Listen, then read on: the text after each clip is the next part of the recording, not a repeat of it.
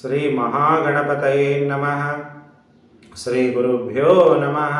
ಹರಿ ಓ.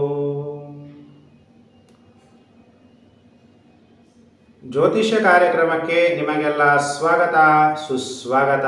ನಾನು ಇವತ್ತು ನಿಮಗೆ ಮಕರ ರಾಶಿ ನವೆಂಬರ್ ಎರಡು ಸಾವಿರದ ಇಪ್ಪತ್ತೆರಡು. ತಿಂಗಳ ಭವಿಷ್ಯವನ್ನು ತಿಳಿಸ್ಕೊಡ್ತಾ ಇದ್ದೀನಿ. ಗ್ರಹಗಳ ಸಂಚಾರ ಮತ್ತು ನಕ್ಷತ್ರದ ಆಧಾರದ ಮೇಲೆ ನಿಮ್ಮ ಮೇಲೆ ಏನೇನು ಶುಭ, ಏನೇನು ಅಶುಭ ಫಲಗಳು ಸಿಗುತ್ತೆ ಅನ್ನುವಂಥ ವಿಚಾರವನ್ನು ನಾನೀಗ ತಿಳಿಸ್ಕೊಡ್ತಾ ಇದ್ದೀನಿ. ಯಾರ್ಯಾರು ಮಕರ ರಾಶಿ ಜಾತಕರಿದ್ದೀರಿ, ವಿಡಿಯೋ ಸ್ಟಾರ್ಟಿಂಗಿಂದ ಕೊನೆವರೆಗೂ ನೋಡಿ. ಈ ತಿಂಗಳಲ್ಲಿ ಒಟ್ಟು ಮೂರು ಗ್ರಹಗಳು ರಾಶಿ ಪರಿವರ್ತನೆ ಆಗ್ತಾರೆ. ನಿಮ್ಮ ರಾಶಿಯಲ್ಲಿ ಬಹಳ ಉಚ್ಚ ಉಚ್ಚವನಾಗುವಂತಹ ಮಂಗಳ ಗ್ರಹ, ಅಂದರೆ ದಿಗ್ಬಲನಾಗುವಂತಹ ಮಂಗಳ ಗ್ರಹ ವಕ್ರಿ ಆಗ್ತಾ ಇದ್ದಾನೆ. ಇದರಿಂದ ನಿಮಗೆ ಮಕರ ರಾಶಿಯವರಿಗೆ ಏನು ಫಲ ಪ್ರಾಪ್ತಿಯಾಗುತ್ತೆ? ನಾನೀಗ ಪ್ರೂಫ್ ಆಗಿ ನಿಮಗೆ ತೋರಿಸ್ತಾ ಇದ್ದೀನಿ. ಮಕರ ರಾಶಿಯವರಿಗೆ ರವಿ, ಬುಧ, ಶುಕ್ರ ಏಕಾದಶ ಸ್ಥಾನ ಹನ್ನೊಂದನೇ ಮನೆಯಲ್ಲಿ ಸಂಚಾರ ಆಗೋದ್ರಿಂದ ನಿಮಗೆ ರಾಜವೈಭವ. ನಾಲ್ಕನೇ ಮನೆ ಅಧಿಪತಿ, ಐದನೇ ಮನೆ ಸಂಚಾರ ಆಗೋದ್ರಿಂದ ರಾಜಯೋಗ. ನಿಮಗೆ ಇಷ್ಟು ಯೋಗಗಳು ಉಂಟಾಗ್ತಾ ಇದೆ. ಅದನ್ನು ನಿಮಗೆ ಪ್ರೂಫ್ ಆಗಿ ನಿಮಗೆ ಈಗ ಎಕ್ಸ್ಪ್ಲೈನ್ ಮಾಡ್ತಾ ಹೋಗ್ತೀನಿ. ನಿಮಗೆ ಇವೆಲ್ಲ ಫಲಗಳು ಕೂಡ ಗ್ರಹಗಳು ಈಗ ಅತಿ ಉನ್ನತವಾದಂತಹ ಫಲಗಳು ನಿಮಗೆ ಮಕರ ರಾಶಿಯವರಿಗೆ ಈ ನವೆಂಬರ್ ತಿಂಗಳು ಉಂಟಾಗುತ್ತೆ. ಈಗ ಶುಕ್ರ ಹನ್ನೊಂದನೇ ಮನೆಯಲ್ಲಿ ಸಂಚಾರ. ಎಷ್ಟು ಒಳ್ಳೆ ಫಲ. ಶುಕ್ರ ಎಷ್ಟನೇ ಮನೆ ನಿಮಗೆ ಯೋಗಕಾರಕ. ಯಾಕೆ ಅದನ್ನು ಯೋಗಕಾರಕ ಅಂತೀವಿ? ಪಂಚಮಾಧಿಪತಿ ಮತ್ತು ದಶಮಾಧಿಪತಿ ನಿಮಗೆ ನಿಮ್ಮದು ಮಕರ ಲಗ್ನ ಆಗಿರ್ಬೋದು ಅಥವಾ ಮಕರ ರಾಶಿ ಆಗಿರ್ಬೋದು ವಿಡಿಯೋನ ಕೊನೆವರೆಗೂ ನೋಡಿ. ಯೋಗಕಾರಕನಾದಂತಹ ಗ್ರಹ ಶುಕ್ರ. ಯಾಕೆಂದರೆ ಅತ್ಯಂತ ಮೂರು ಮೂರು ಗ್ರಹಗಳು, ನಾಲ್ಕು ನಾಲ್ಕು ಗ್ರಹಗಳು ಹನ್ನೊಂದನೇ ಮೇಲೆ ಸಂಚಾರ ಆಗ್ಬೇಕಾದ್ರೆ ಸಿಂಹಾಸನ ಯೋಗ ಉಂಟಾಗ್ಬಿಡುತ್ತೆ. ರಾಜಯೋಗ ಅನ್ನೋದು ನಿಮಗೆ ಈ ತಿಂಗಳು ಕೂಡ ಉಂಟಾಗ್ತಾ ಇದೆ, ಮಕರ ರಾಶಿ ಜಾತಕರಿಗೆ. ಹೀಗೆ ಶುಕ್ರ ಹನ್ನೊಂದನೇ ಮನೆಯಲ್ಲಿ ಸಂಚಾರ ಆಗಬೇಕಾದ್ರೆ ಏನು ಫಲ ಅನ್ನೋದು ಪ್ರಾಪ್ತಿಯಾಗತ್ತೆ ಅನ್ನುವಂಥದ್ದು. ತಮ್ಮ ಎಲ್ಲ ಪ್ರಯತ್ನಗಳಲ್ಲಿ ಜಯ. ಎಲ್ಲ ನೀವೇನು ಪ್ರಯತ್ನ ಮಾಡ್ತೀರೋ ಅದರಲ್ಲೆಲ್ಲ ಜಯ ಅನ್ನೋದು ಉಂಟಾಗುತ್ತೆ. ದಶಮೇವ ಮನ ಕಲಹಾನ್ ನಿಯಮ ಪ್ರ ಮಿತಾಕ್ಷಯ ವದನ್ ಲಾ ವದನ್ ಲಾ ಲಬೇತ್ ಅಂದರೆ when through the tenth native ಹತ್ತನೇ ಮನೆಯಲ್ಲಿ ಶುಕ್ರ ಸಂಚಾರ ಆಗ್ಬೇಕಂದ್ರೆ ಸ್ವಲ್ಪ ನೆಗೆಟಿವ್ ಎಫೆಕ್ಟ್ ಇರುತ್ತೆ. When it passes through the eleventh house ಯಾಕಂದ್ರೆ ಈಗ ಈ ತಿಂಗಳು ನಿಮಗೆ ಹನ್ನೊಂದನೇ ಮನೆಯಲ್ಲಿ ಸಂಚಾರ ಆಗ್ತಾ ಇರುವಂಥದ್ದು. ಯು ಗೆಟ್ಸ್ ಫ್ರೆಂಡ್ಸ್ ಅದರಲ್ಲೂ ಕೂಡ ಸ್ತ್ರೀ ಸ್ನೇಹಿತರು ವೆಲ್ತ್ ಫುಡ್ ಆ್ಯಂಡ್ ಪರ್ಫ್ಯೂಮ್ಸ್ ಒಳ್ಳೆ ಆಹಾರ, ಒಳ್ಳೆ ಉಡುಪು, ಒಳ್ಳೆ ಸ್ತ್ರೀ ಸ್ನೇಹ, ಶ್ರೀಮಂತ ಸ್ತ್ರೀ ಯಾಕೆಂದರೆ ರವಿ ಕೂಡ ಅಲ್ಲಿ ಜೊತೆಗಿರೋದ್ರಿಂದ ನಿಮಗೆ ಪ್ರಾಪ್ತಿ ಉಂಟಾಗುತ್ತೆ. ಎಲ್ಲ ಪ್ರಯತ್ನಗಳಲ್ಲಿ ಜಯ. ಉತ್ತಮವಾದ ಆಹಾರ. ಶುಕ್ರ ಕೊಡೋದೆಂಥದ್ದು ರಾಯಲ್ಲು ಆಹಾರ. ನಿನ್ನೆ ಮೊನ್ನೆ ಊಟ ಮಾಡುವಂಥದ್ದಲ್ಲ. ದೊಡ್ಡ ದೊಡ್ಡ ಹೋಟ್ಲುಗಳಲ್ಲಿ ಒಳ್ಳೆ ಸ್ಟಾರ್ ಹೋಟ್ಲುಗಳಲ್ಲಿ ಊಟ ಮಾಡುವಂಥ ಯೋಗ ಅನೇಕ ರೀತಿಯಲ್ಲಿ ಆದಾಯ. ಯಾಕಂದರೆ ಶುಕ್ರ ಅಂದರೆ ಪತ್ನಿಗೆ ಕಾರಕ ಗ್ರಹ, ನಿಮ್ಮ ಪತ್ನಿಯಿಂದ ನಿಮಗೆ ಸುಖ, ಅದು ಅನ್ಯ ಸ್ತ್ರೀಯಿಂದ ನಿಮಗೆ ಸುಖ ಸಿಗ್ಬೋದು. ಆಕರ್ಷಣೆ. ನೀವು ಮಾಡುವಂಥ ವೃತ್ತಿ ದಶಮಾಧಿಪತಿ ಹನ್ನೊಂದನೇ ಮನೇಲಿರೋದ್ರಿಂದ ನಿಮ್ಮ ವೃತ್ತಿಯಲ್ಲಿ ನಿಪುಣತ್ವ, ನಿಮಗೆ ಭಾಳ ಬುದ್ಧಿವಂತಿಕೆ ಕೆಲಸ ಮಾಡ್ತೀರಾ? ಇಂಟೆಲಿಜೆನ್ಸಿ ನಿಮ್ಮ ಕೆಲಸದಲ್ಲಿ ತೋರಿಸ್ತೀರಾ? ವಿದ್ಯಾಭ್ಯಾಸದಲ್ಲಿ ಜಯ ಅನ್ನೋದು ನಿಮಗೆ ಉಂಟಾಗತ್ತೆ. ಇಷ್ಟೆಲ್ಲ ಶುಕ್ರ ನಿಮಗೆ ದಶಮಾಧಿಪತಿ ಲಾಭ ಸ್ಥಾನದಲ್ಲಿ ಸಂಚಾರ ಆಗ್ತಾ ಇರುವಂಥದ್ದು, ಬಹಳ ಒಳ್ಳೆ ಫಲ ಅನ್ನುವಂಥದ್ದು ನಿಮಗೆ ಉಂಟಾಗತ್ತೆ ಮಕರ ರಾಶಿ ಜಾತಕರಿಗೆ. ನಾಲ್ಕನೇ ಮನೆಯ ಅಧಿಪತಿ ಯಾರು? ಮಂಗಳ ಗ್ರಹ. ಪಂಚಮ ಸ್ಥಾನದಲ್ಲಿ ಸಂಚಾರ ಆಗೋದ್ರಿಂದ ರಾಜಯೋಗ. ನಾಲ್ಕನೇ ಮನೆ ಅಂದ್ರೆ ಏನು? ವಾಹನ, ಮನೆ, ಸುಖ. ಇವೆಲ್ಲ ಹೆಂಗ ಅದೆಲ್ಲ ಐದನೇ ಮನೆ ಸಂಚಾರ ಆಗ್ಬೇಕಾದ್ರೆ ನಾಲ್ಕನೇ ಮನೆ ಅಂದಾಗ ಕೇಂದ್ರ, ಐದನೇ ಮನೆ ಅಂದಾಗ ಕೋನ. ಅಂದರೆ ಲಕ್ಷ್ಮೀ ಸ್ಥಾನ ಮತ್ತು ಮಹಾವಿಷ್ಣುವಿನ ಸ್ಥಾನ ಅಂತೀವಿ, ಕೇಂದ್ರ ಮತ್ತು ಕೋನ ಸ್ಥಾನಗಳು. ಇವೆರಡೂ ಕೂಡ ಆಕ್ಟಿವೇಟ್ ಆಗೋದ್ರಿಂದ ನಿಮಗೆ ಮಕರ ರಾಶಿಯವರಿಗೆ ರಾಜಯೋಗ ಅನ್ನೋಂಥದ್ದು ಉಂಟಾಗುತ್ತೆ. ಹಾಗಾದರೆ ಬುಧ ಎಷ್ಟನೇ ಮನೆ ಅಧಿಪತಿ? ಬುಧ ಕೂಡ ನಿಮಗೆ ಒಂಬತ್ತನೇ ಭಾಗ್ಯಾಧಿಪತಿ, ಮಕರ ರಾಶಿಯವರಿಗೆ ಭಾಗ್ಯಾಧಿಪತಿ ಹನ್ನೊಂದನೇ ಮನೆಯಲ್ಲಿ ಸಂಚಾರ ಆಗಬೇಕಾದ್ರೆ ಬುಧ ಒಳ್ಳೆ ಫಲವನ್ನು ಕೊಡ್ತಾನೆ. ಸಂಸ್ಕೃತ ಶ್ಲೋಕ ಹೇಳುತ್ತೆ, ಆರೋಗ್ಯ ಧನಲಾಭಶ್ಚ ಮನಃ ಪ್ರೀತಿ ಸುಖಂ ಭವತೆ ಬಂಧು ಪ್ರೀತಿಯರ್ಷೋ ವೃತ್ತಿ ಲಾಭಂ ಚೌಕಾದಶೋ ಬುಧೇಹೇ. ಬುಧ ಹನ್ನೊಂದನೇ ಮನೆಯಲ್ಲಿ ಸಂಚಾರ ಆಗಬೇಕಾದ್ರೆ, ಅಭಿವೃದ್ಧಿ, ಆರೋಗ್ಯ. ವೆನ್ ಮರ್ಕುರಿ ಗುರುಜಿ ನನಗೆ ಕೊಂಕಣಿ, ತುಳು ಸರಿಯಾಗಿ ಬರಲ್ಲ ಕನ್ನಡ ಅನ್ನೋಂಥವ್ರಿಗೆ ವಿದೇಶದಲ್ಲಿದ್ದೀವಿ ಅನ್ನುವಂಥವ್ರಿಗೆ when Mercury passes through eleventh house ನಿಮ್ದು ಯಾವುದು? ನಕ್ಷತ್ರಗಳು, ಉತ್ತರಾಷಾಢ ನಕ್ಷತ್ರ, ಎರಡು, ಮೂರು, ನಾಲ್ಕು, ಶ್ರವಣ ನಕ್ಷತ್ರ, ಒಂದು, ಎರಡು, ಮೂರು, ನಾಲ್ಕನೇ ಪಾದ, ಧನಿಷ್ಠ ನಕ್ಷತ್ರ, ಒಂದು, ಎರಡು ಪಾದ ಆಗಿದ್ರೆ ನೀವೆಲ್ಲ ಮಕರ ರಾಶಿಯವರೆಗೂ, ನಿಮಗೆಲ್ಲ financial gain ಅನ್ನೋದಾಗಲೇಬೇಕು. Enjoy phys physically facility mental happiness comforts, satisfaction from kinsflow, increase of fame and gains in general ಅಂದರೆ ನಿಮಗೆ ಪ್ರಾಪಂಚಿಕ ಎಲ್ಲ ಸುಖಗಳು ಸಿಗುವಂಥದ್ದು ನಿಮ್ಮ ರಕ್ತ ಸಂಬಂಧದಿಂದ ನಿಮಗೆ ಸು ಸಂತೋಷ ಸಿಗುವಂಥದ್ದು ಮಾನಸಿಕವಾಗಿ ಸಂತೋಷ ಭಾಳ ಮುಖ್ಯ. ನಮಗೆ ಈ ಪ್ರಪಂಚದಲ್ಲ ಬದುಕಿದೀವಿ ಅಂದರೆ ನೆಮ್ಮದಿ ಇಲ್ಲ ಅಂದರೆ ಪ್ರಯೋಜನ ಇಲ್ಲ ಅಂತ ಮಾನಿಕ ಮಾನಸಿಕವಾದಂತಹ ಸಂತೋಷ, ಲಾಭ ಅನ್ನೋದು ನಿಮಗೆ ಬುಧನಿಂದ ಸಿಗುತ್ತೆ. ಬುಧ ಅಂದರೆ ಯಾರು? ವಿದ್ಯೆಗೆ ಕಾರಕ ಗ್ರಹ. ಹಾಗಾದರೆ ವಿದ್ಯಾರ್ಥಿಗಳು, ನೀವು ವಿದ್ಯೆ ಏನು ಸಹ ಓದಿದ್ದೀರಾ ಹೈಯರ್ ಎಜುಕೇಷನ್ ಮಾಡ್ಕೊಂಡಿದ್ದೀರಾ, ಅವರೆಲ್ಲರಿಗೂ ಕೂಡ ಲಾಭ ಉಂಟಾಗುತ್ತೆ. ಯಾಕೆಂದರೆ ನೈನ್ತ್ ಲಾರ್ಡ್ ಅಂದರೆ ಹೈಯರ್ ಎಜುಕೇಷನ್ ಯಾರ್ಯಾರು ಮಾಡಿದ್ದೀರಾ, ಅವರೆಲ್ಲರಿಗೂ ಕೂಡ ಲಾಭ. ವಿದ್ಯೆಯಿಂದ ಲಾಭ. Education is a source of income ಅಂತೀವಿ. ಏನು ಓದಿದ್ದೀವಿ ಅದರಿಂದ ನಾವು ದುಡ್ಡು ದುಡಿತೀವಿ. ಅಲ್ವಾ? ಓದಿರೋ ವಿದ್ಯೆಯಿಂದ ತಾನೇ ಧನ ಸಂಪಾದನೆ ಆಗೋದು. ಜ್ಞಾನದಿಂದ ತಾನೇ ಧನ ಸಂಪಾದನೆ ಆಗೋದು. ಯಾರ್ಯಾರು D P H D foreign ಹೋಗಿ M S M tech M B B S ಆದಮೇಲೆ ಮತ್ತೆ ಬೇರೆ ಬೇರೆ ಹೈಯರ್ ಎಜುಕೇಷನ್ ಮಾಡಿದ್ದೀರಾ? ನಿಮ್ಮೆಲ್ಲರಿಗೂ ಕೂಡ ಲಾಭ ಅನ್ನೋದು ತಂದು ಕೊಡ್ತೀರಾ? ಅದು ರಾಜಕಾರಣಿಗಳಿಗೂ ಕೂಡ ಲಾಭ. ಜನಗಳಿಂದ ನಿಮಗೆ ಓಟು ಮತ್ತು ಧನ ಇವೆಲ್ಲ ಕೂಡ ಪ್ರಾಪ್ತಿಯಾಗುತ್ತೆ. ಅಭಿವೃದ್ಧಿಯಲ್ಲಿ ಲಾಭ, ಪರಮ ಸುಖ ಮತ್ತು ಧನಾದಾಯ. ಧನ ಅನ್ನೋದು ಬರುತ್ತೆ, ಸಂತೃಪ್ತಿಯಾಗತ್ತೆ.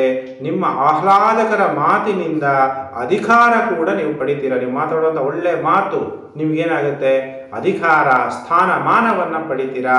ಯಾಕೆಂದರೆ ಶುಕ್ರ ಹನ್ನೊಂದನೇ ಮನೆಯಲ್ಲಿ ಸಂಚಾರ ಆಗೋದ್ರಿಂದ ಯೋಗಕಾರಕ ಶುಕ್ರ ನಿಮಗೆ, ಮಕರ ರಾಶಿಯವರಿಗೆ, ಅದ್ರ ಜೊತೆಗೆ ಬುಧ ಕೂಡ ನಿಮಗೆ ಪಾಸಿಟಿವ್ ರಿಸಲ್ಟ್ ಕೊಡ್ತಾ ಇರೋದ್ರಿಂದ ನಿಮಗೆ ಈ ರಾಜಯೋಗ ಅನ್ನೋಂಥದ್ದು ಉಂಟಾಗುತ್ತೆ. ಅದು ನಾಲ್ಕನೇ ಮನೆ ಅಧಿಪತಿ, ಐದನೇ ಮನೆ ಸಂಚಾರ ಆಗಬೇಕಾದ್ರೆ ರಾಜಯೋಗ. ಬುಧನೂ ಕೂಡ ನೋಡಿ ನಿಮಗೆ ಶುಭ ಫಲಗಳನ್ನು ಕೊಡ್ತಾ ಇದ್ದಾನೆ. ನಿಮ್ಮ ಅದೃಷ್ಟ ನಿಮ್ಮ ಅದೃಷ್ಟ ಎಲ್ಲಿಂದ ಬಂತು? ನಿಮ್ಮ ಸ್ನೇಹಿತರಿಂದ ನಿಮಗೆ ಅದೃಷ್ಟ ಉಂಟಾಗುತ್ತೆ. ಸ್ನೇಹಿತರು ಯಾವುದೋ ಒಂದು ಮಾರ್ಗದರ್ಶನ ಕೊಟ್ಬಿಡ್ತಾರೆ. ಆ ಮಾರ್ಗದರ್ಶನದ ನೀವು ನಡೆದ್ಬಿಟ್ರೆ ಸಕ್ಸಸ್ ಆಗ್ಬಿಡ್ತೀರಾ? ಅಥವಾ ನಿಮಗಿಂತ ದೊಡ್ಡವರು ಅಣ್ಣ ಆಗಿರ್ಬೋದು, ಅಕ್ಕ ಆಗಿರ್ಬೋದು, ಅದನ್ನ ಇಂಗ್ಲೀಷಲ್ಲಿ ಎಲ್ಡರ್ ಸಿಬ್ಲಿಂಗ್ಸ್ ಅಂತೀವಿ. ಅವ್ರು ಏನಾದರೂ ನಿಮಗೆ ಮಾರ್ಗದರ್ಶನ ಕೊಟ್ಬಿಟ್ರೆ, ಆ ಮಾರ್ಗದರ್ಶನ ನಡೆದ್ರೆ ಅದರಲ್ಲೂ ಕೂಡ ನಿಮಗೆ ಧನಲಾಭ ಉಂಟಾಗ್ಬಿಡುತ್ತೆ. ಅದರಲ್ಲೂ ರವಿನೂ ಕೂಡ ಇರೋದ್ರಿಂದ, ರವಿ ಎಷ್ಟನೇ ಮನೆ ಅಧಿಪತಿ? ಅಷ್ಟಮಾಧಿಪತಿ. ರಂಧ್ರಸ್ಥಾನ. ಗುಪ್ತ ಧನ ಸಿಗುವಂಥದ್ದು, ಗುಪ್ತ ವಿದ್ಯೆಯನ್ನು ಕಲಿಯುವಂತಹ ಸ್ಥಾನಾಧಿಪತಿ ಹನ್ನೊಂದನೇ ಮನೆಯಲ್ಲಿ ಹೋದಾಗ ಗುಪ್ತ ಜ್ಞಾನಗಳು, ಈ ಜ್ಯೋತಿಷ್ಯ ಶಾಸ್ತ್ರ ಅನ್ನುವಂಥದ್ದೆಲ್ಲ ಏನಾಗಿದೆ? ಇದೆಲ್ಲ ಅಕಲ್ಟ್ ಸೈನ್ಸ್ ಅಂತ ಹೇಳಲಾಗುತ್ತೆ. ಇವೆಲ್ಲ ಗುಪ್ತ ವಿದ್ಯೆಗಳು. ಇಂತಹ ವಿದ್ಯೆಗಳನ್ನು ಕೂಡ ನೀವು ಕಲಿಬಹುದು ಹೀಗೆ ಯಾವಾಗ ರವಿ ಅಷ್ಟಮಾಧಿಪತಿ, ಲಾಭ ಸ್ಥಾನದಲ್ಲಿ ಸಂಚಾರ ಆಗಬೇಕಾದ್ರೆ, ರವಿ ಹನ್ನೊಂದನೇ ಮನೆಯಲ್ಲಿ ಸಂಚಾರ ಆಗಬೇಕಾದ್ರೆ ನಿಮಗೆ ಒಳ್ಳೆ ಫಲಗಳು ಪ್ರಾಪ್ತಿಯಾಗುತ್ತೆ, ರಾಜಕಾರಣಿಗಳ ಪರಿಚಯ ಆಗುತ್ತೆ, ಸರ್ಕಾರದಿಂದ ಬರಬೇಕಾಗಿರುವಂಥ ಹಣ ನಿಂತೋಗ್ಬಿಟ್ಟಿರುತ್ತೆ, ಆ ದುಡ್ಡು ಕೂಡ ಬರುತ್ತೆ. ಯಾವಾಗ?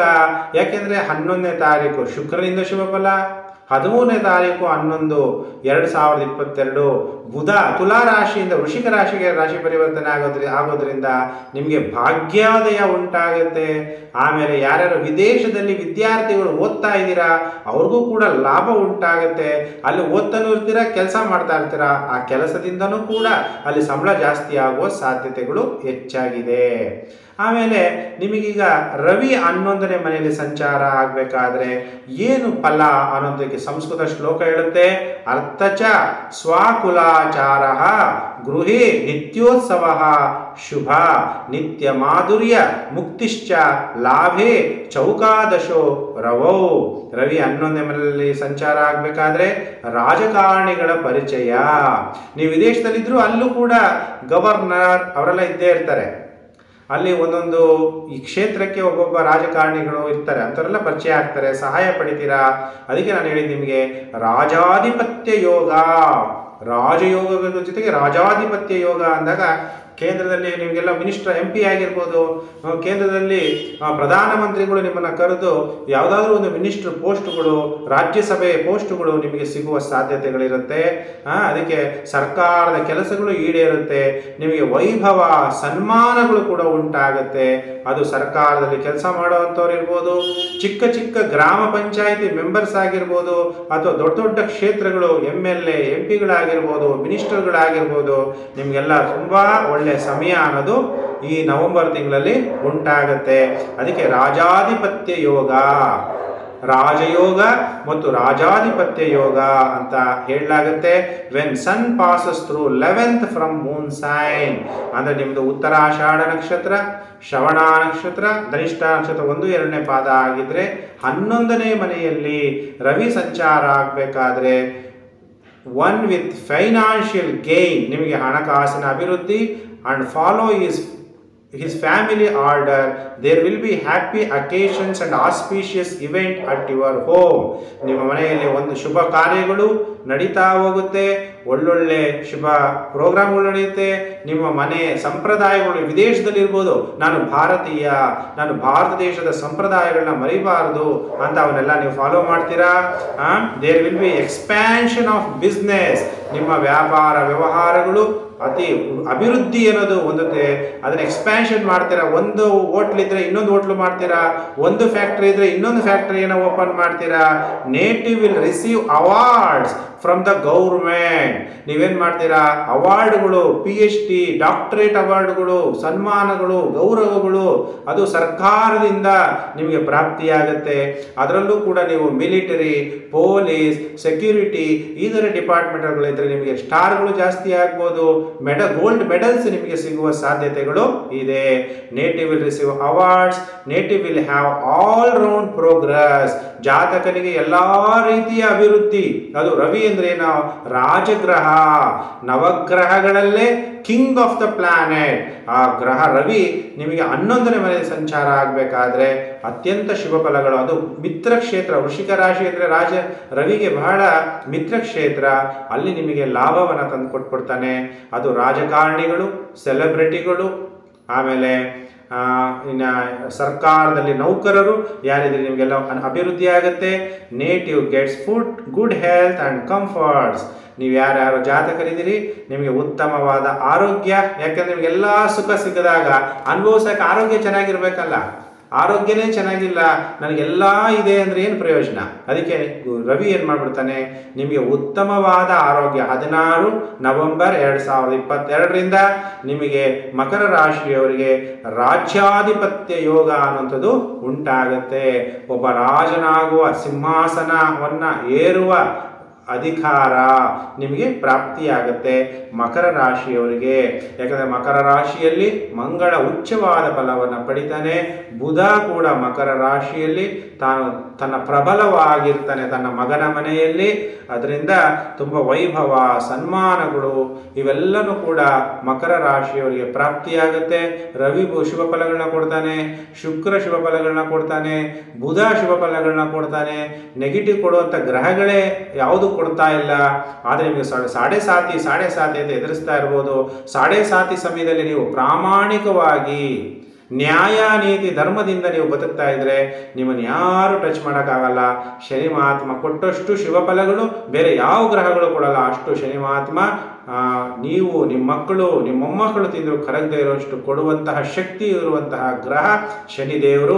ಯಾಕೆಂದರೆ ನವೆಂಬರ್ ತಿಂಗಳಲ್ಲಿ ನೇರವಾಗಿ ಸಂಚಾರ ಆಗ್ತಾ ಇರ್ತಾನೆ. ನಿಮಗೆ ಅತ್ಯಂತ ನಿಮ್ಮ ರಾಷ್ಟ್ರಾಧಿಪತಿ ಅಥವಾ ಮಕರ ಲಗ್ನಾಧಿಪತಿ ಲಗ್ನದಲ್ಲೇ ಸಂಚಾರ ಆಗಬೇಕಾದ್ರೆ ನಿಮಗೆ ಅತ್ಯಂತ ಧೈರ್ಯ, ಶಕ್ತಿ ಎಲ್ಲ ಕೂಡ ಶನಿದೇವರಿಂದ ನಿಮಗೆ ಪ್ರಾಪ್ತಿಯಾಗತ್ತೆ. ಧನಾಧಿಪತಿ, ಎರಡನೇ ಮನೆ ಅಧಿಪತಿ ಕುಂಭರಾಶಿ ಅಧಿಪತಿ, ಶನಿ ಮಹಾತ್ಮ, ನಿಮ್ಮ ನೀವು ಹೇಳ್ದಂಗೆ ದುಡ್ಡು ನಿಮ್ಮ ಕೈಯಲ್ಲಿರುತ್ತೆ ನಿಮ್ಗೆ ಯಾವಾಗ ಬೇಕೋ ಅವಾಗ ಖರ್ಚು ಮಾಡ್ಕೋಬಹುದು. ಅದು ನಿಮ್ಮಲ್ಲಿ ಹಣ ಅನ್ನೋದು ಬಂದು ಸೇರುತ್ತೆ. ಆ ಥರ ನಿಮಗೆ ಶನಿ ಮಹಾತ್ಮ ನಿಮ್ಮ ರಾಶಿಗೆ ಬಂದಾಗ ಧನ ಅನ್ನೋದು ನೀವು ಹುಡ್ಕೊಂಡು ಹೋಗಂಗಿಲ್ಲ, ಅದೇ ನಿಮ್ಮನ್ನು ಹುಡ್ಕೊಂಡು ಬರುತ್ತೆ. ನಿಮ್ಮ ಮೂರನೇ ಮನೆಯಲ್ಲಿ ವ್ಯಯಾಧಿಪತಿಯಾದಂತಹ ಗುರು ಮೂರನೇ ಮನೆಯಲ್ಲಿ ಸಂಚಾರ ಆಗಬೇಕಾದ್ರೆ ನಿಮ್ಮ ಸಹೋದರ ಅಥವಾ ಸಹೋದರಿ ಯಾರು ಯಂಗರ್ ಸಿಬ್ಲಿಂಗ್ಸ್ ಅಂತ ಕರಿತೀವಿ, ಅಂಥವ್ರಿಗೋಸ್ಕರ ನೀವು ಖರ್ಚು ಮಾಡ್ತೀರಾ? ಅವರಿಗೆ ನೀವು ಸಹಾಯಕರಾಗಿರ್ತೀರಾ? ಧನ ಸಹಾಯವನ್ನು ನಿಮ್ಮ ಸಹೋದರ ಅಥವಾ ಸಹೋದರಿಗೆ ಮಾಡ್ತೀರಾ? ಅನ್ನೋಂಥ ವಿಚಾರವನ್ನು ತಿಳಿಸುತ್ತೆ. ಮತ್ತು ನಾಲ್ಕನೇ ಮನೆಯಲ್ಲಿ ರಾಹು ಸಂಚಾರ ಆಗ್ತಾ ಇರೋದ್ರಿಂದ ನಿಮಗೆ ದೊಡ್ಡ ದೊಡ್ಡ ವಾಹನಗಳನ್ನು ಖರೀದಿ ಮಾಡುವ ಯೋಗ ಉಂಟಾಗುತ್ತೆ. ದೊಡ್ಡ ದೊಡ್ಡದು ಒಂದು ದೊಡ್ಡ ದೊಡ್ಡ ಲಾರಿಗಳು, ದೊಡ್ಡ ದೊಡ್ಡ ಬಸ್ಸುಗಳು, ಹೀಗೆ ಚಿಕ್ಕ ಚಿಕ್ಕ ವಾಹನಗಳಲ್ಲ. ಹಾಗೆ ದೊಡ್ಡ ದೊಡ್ಡ ವಾಹನಗಳು ಯಾರ್ಯಾರ ಹತ್ರ ಇದೆ ಆ ವಾಹನಗಳಿಂದ ನಿಮಗೆ ಮಕರ ರಾಶಿಯವರಿಗೆ ಲಾಭ ಅನ್ನೋದು ಉಂಟಾಗುತ್ತೆ. ಲವ್ ಅನ್ನುವಂಥದ್ದು ಹೇಗಿರುತ್ತೆ? ಅಂದಾಗ ಲಾಭಾಧಿಪತಿ.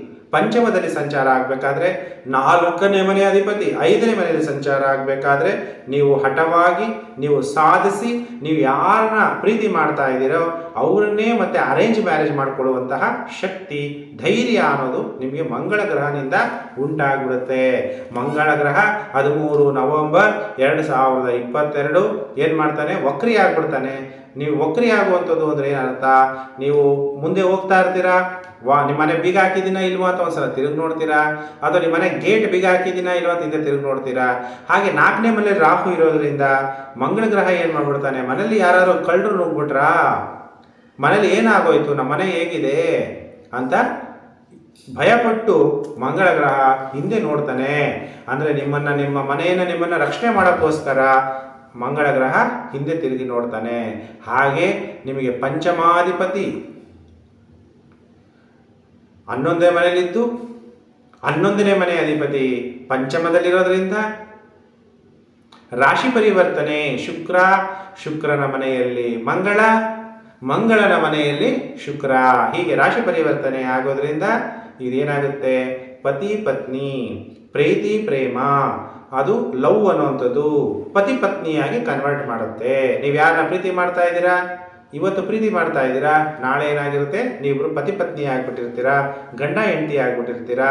ನಿಮ್ಮ ಸಂಗಾತಿಯಾಗಿ ಅವರು ಬಂದ್ಬಿಟ್ಟಿರ್ತಾರೆ. ಪುರುಷರಾಗಿರ್ಬೋದು, ಜಾತಕ ಆಗಿರ್ಬೋದು, ಸ್ತ್ರೀ ಜಾತಕರಾಗಿರ್ಬೋದು. ಆ ರೀತಿ ಕನ್ವರ್ಟ್ ಆಗುತ್ತೆ. ಮನೆ ಬಾಡಿಗೆ ಕೊಡಬೇಕಾದ್ರೆ ಒಳ್ಳೆಯವ್ರಿಗೆ ನೋಡಿ ಮನೆ ಬಾಡಿಗೆಗಳನ್ನ ಕೊಡಬೇಕು. ಮಕರ ರಾಶಿಯವರು, ಯಾರ್ಯಾರು ಮನೆ ಓನರ್ಗಳಿದ್ದೀರಾ ಯಾಕೆಂದರೆ ಮನೆಯಲ್ಲಿ ಯಾರು ಟೆರರಿಸ್ಟ್ಗಳನ್ನ, ಕಳ್ಳರನ್ನ ಸುಳ್ಳರನ್ನ ಮನೆಗೆ ಬಾಡಿಗೆ ಕೊಡೋಕ್ಕಾಗುತ್ತಾ? ಅಲ್ವಾ? ಪೊಲೀಸ್ ಎನ್ಕ್ವೈರಿ ಮಾಡಬೇಕು ಅಂತವರಿಗೆಲ್ಲ ಯಾರಿಗೆ ಆಗಲಿ ನಾವು ಮನೆ ಕೊಡಬೇಕು ಅಂದರೆ ಅದಕ್ಕೆ ರಾಹು ನಾಲ್ಕನೇ ಮನೆಯಲ್ಲಿ ಸಂಚಾರ ಆಗಬೇಕಾದ್ರೆ ಸ್ವಲ್ಪ ಮನೆ ಬಾಡಿಗೆ ಕೊಡಬೇಕಾದ್ರೆ ಅದನ್ನೊಂದು ಎಚ್ಚರಿಕೆಯನ್ನು ನೀವು ಮಕರ ರಾಶಿಯವರು ತಗೋಬೇಕಾಗುತ್ತೆ. ಸಪ್ತಮಾಧಿಪತಿ ವಿವಾಹ ಜೀವನ ತುಂಬ ಚೆನ್ನಾಗಿರುತ್ತೆ. ಅನೋನ್ಯತೆಯಾಗಿ ನೀವಿಬ್ಬರು ಹೊಂದಾಣಿಕೆಯಿಂದ ಜೀವನವನ್ನು ನಡೆಸ್ತೀರಾ? ಭಾಗ್ಯ ನಿಮಗೆ ಅಭಿವೃದ್ಧಿ ಅನ್ನೋದು ಆಗುತ್ತೆ. ಅದೃಷ್ಟ ಅನ್ನೋದು ಅಭಿವೃದ್ಧಿ ಆಗುತ್ತೆ. ಅಷ್ಟಮಾಧಿಪತಿ ಆಯುಷ್ ಅಧಿಪತಿ ರವಿ ತುಂಬ ಚೆನ್ನಾಗಿರೋದ್ರಿಂದ ನಿಮ್ಮ ಜಾತಕದಲ್ಲಿ ಏನಾದ್ರು ರವಿ ದಶೇನಾಥ, ಭುಕ್ತಿನಾಥ, ಅಂತರ್ಭುಕ್ತಿನಾಥನಾಗಿದ್ದು ಈಗ ಹನ್ನೊಂದನೇ ಮನೆಯಲ್ಲಿ ಸಂಚಾರ ಆಗ್ತಾ ಇದ್ರೆ ನಿಮಗೆ ಆಯುಷ್ಯು ಕೂಡ ಅಭಿವೃದ್ಧಿ ಆಗಿಬಿಡುತ್ತೆ. ಕೆಲವರು ಹೇಳ್ತಾರಲ್ಲ, ಗುರುಜಿ ಇನ್ನೇನು ಪ್ರಾಣ ಹೋಗ್ಬಿಡ್ತು ಅಂದ್ಕೊಂಡ್ವಿ ಮತ್ತೆ ಬದುಕ್ಬಿಟ್ರು. ಹಾರ್ಟ್ಗೆ ಹೊಡೆದಿದ ತಕ್ಷಣ ಬದುಕ್ಬಿಟ್ರು. ಆಯುಷ್ಯು ಅನ್ನೋದು ಅಷ್ಟೇ ಅಂತ ನಿಗದಿಯಾಗಿದ್ರು ಕೂಡ ಪೂರ್ತಿ ಆಯುಷ್ ಮುಗಿದೇನೆ, ಮಧ್ಯದಲ್ಲಿ ಏನೋ ಆರೋಗ್ಯ ಸಮಸ್ಯೆ ನಿಂತೋಗ್ಬಿಟ್ಟಿದ್ರು, ಆ ಆರೋಗ್ಯ ಸಮಸ್ಯೆ ಸಾಲುವಾಗಿ ನಿಮ್ಮ ಆಯುಷ್ಯು ಅನ್ನೋದು ಖಂಡಿತವಾಗಲೂ ನವೆಂಬರ್ ತಿಂಗಳಲ್ಲಿ ಅಭಿವೃದ್ಧಿ ಆಗುತ್ತೆ. ಆಯುಷ್ಯು ಅಭಿವೃದ್ಧಿ, ನಿಮ್ಮ ಆರೋಗ್ಯನೂ ಕೂಡ ಚೆನ್ನಾಗಾಗುತ್ತೆ. ಯಾಕೆಂದ್ರೆ ಈಗ ಈ ಪ್ರಪಂಚದಲ್ಲಿ ಈಗ ನಮ್ಗೆ ಏನು ಬೇಕು? Health is wealth money is lost nothing is lost ಹಣ ಹೋದ್ರೂ ಪರವಾಗಿಲ್ಲ, ಆರೋಗ್ಯ ಚೆನ್ನಾಗಿದ್ರೆ ನಾವು ಎಷ್ಟು ಬೇಕಾದರೂ ಸಂಪಾದನೆ ಮಾಡ್ಬೋದಪ್ಪ ಅನ್ನುವಂಥದ್ದು ಈ ಕೋವಿಡ್ ಬಂದಾಗಿಂದ ನಮಗೆಲ್ಲ ಅರ್ಥ ಆಗಿದೆ. ಅಂತ ಒಳ್ಳೆ ಆರೋಗ್ಯ ಆರೋಗ್ಯ ಪ್ರದಾತುನು ದಿನಕರಹ ಅಂತ ಕರಿ, ಕರಿತೀವಿ. ಆರೋಗ್ಯವನ್ನು ಕೊಡುವಂತಹ ಸೂರ್ಯ ಚೆನ್ನಾಗಿದ್ದಾಗ ನಮಗೆ ಆರೋಗ್ಯ ಪ್ರಾಪ್ತಿಯಾಗುತ್ತೆ. ನವೆಂಬರ್ ತಿಂಗಳು ಹದಿನಾರನೇ ತಾರೀಕು ನಂತರ ನಿಮ್ಗೆ ಯಾವುದೇ ಆರೋಗ್ಯ ಸಮಸ್ಯೆ ಇದ್ರೂ ಸಾಲ್ವ್ ಆಗಿಬಿಡುತ್ತೆ. ನೀವು ತುಂಬ ಸೂಪರ್ ಆಗಿರ್ತೀರಾ.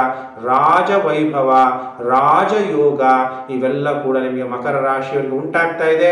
ಇನ್ನು ಗುರುಜಿ ನನ್ನ ಕೆಲವರೆಲ್ಲ ಉಂಟಾಗ್ತಿದೆ ಅಂತ ನೀವು ಇನ್ಫಾರ್ಮೇಶನ್ ಹೇಳ್ತೀರಾ? ಇನ್ನು ಕೆಲವರು ನನಗೇನು ಒಳ್ಳೇದಾಗ್ತಿಲ್ಲ ಅನ್ನೋಂಥವ್ರು ಜಾತಕ ತೋರಿಸ್ಬೇಕು. ಜಾತಕದಲ್ಲಿ ಹಿಂದಿನ ಜನ್ಮದಿಂದ ಮಾಡಿರುವಂತಹ ಪಾಪ ಕರ್ಮಗಳು, ಶಾಪಗಳು, ವಂಶ ಪಾರಂಪರ್ಯದಿಂದ ಬಂದಿರುವ ಶಾಪಗಳು, ಇವೆಲ್ಲ ಜಾತಕ ನೋಡಿ ನೀವು ನನ್ನ ಹತ್ರ ಪರಿಹಾರ ಮಾಡಿಸ್ಕೊಳ್ಳಿ. ಖಂಡಿತವಾಗಿ ನಿಮ್ಗೆ ಇವೆಲ್ಲ ಯೋಗಗಳು ಉಂಟಾಗುತ್ತೆ.